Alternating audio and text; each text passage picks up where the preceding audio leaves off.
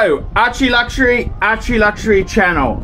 And today have I got an absolute treat for you nasty fuckers out there. This is Archie's Luxury, this is Archie Luxury's personal tombstone Art Deco marble clock.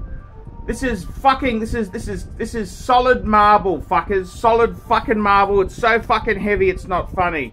Look at the, the dial there. Absolute stunner. Absolute stunner. And, uh, this is Archie's own. I'm just going to set the fucker now.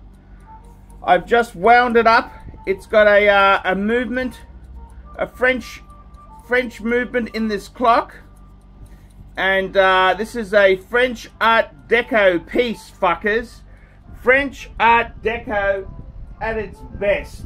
French Art Deco at its best. And uh, what do you say, fuckers? What?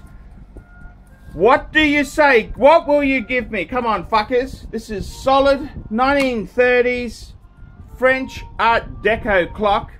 It's a heavy fucker. This is solid marble. Very heavy fucker. So let's have a look here. It's basically, it's uh, marble, marble pieces. You can have a look inside here. That's the, the movement there. The movement. Uh, the clock was serviced within the past 12 months. It's basic. This is a heavy fucker. This is something that you could pretend your family had breeding. Your family had breeding. You were influential people because the poorer people would have had a wooden one of these, but the really rich, nasty, middle class fuckers had a stone one. So this is a stone one. Art Deco at its best, fuckers. Come on, fuckers, what will you give me for this marble, marble clock here?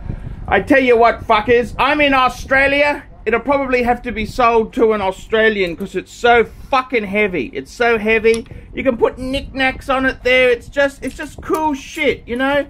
Everyone needs one of these sort of things here. Knickknacks, dental repairs. It's just a cool thing to, to have on the, uh, the side table there. It's just so cool. Now, come on, fuckers. What will you give me? I want 850 Australian. There you go. This would be 1500 in an antique shop. Give me 850 Australian. It's yours. It'll probably have to be sold to an Australian because it's so fucking heavy. I don't know how I'd post this fucker overseas. But uh, if you're interested, if you're overseas and you're interested, let's work on that. Come to me and I'll see what I can do, fuckers. I'm Archie Luxury, getting rid of some shit to make my life easier and get the day date, fuckers.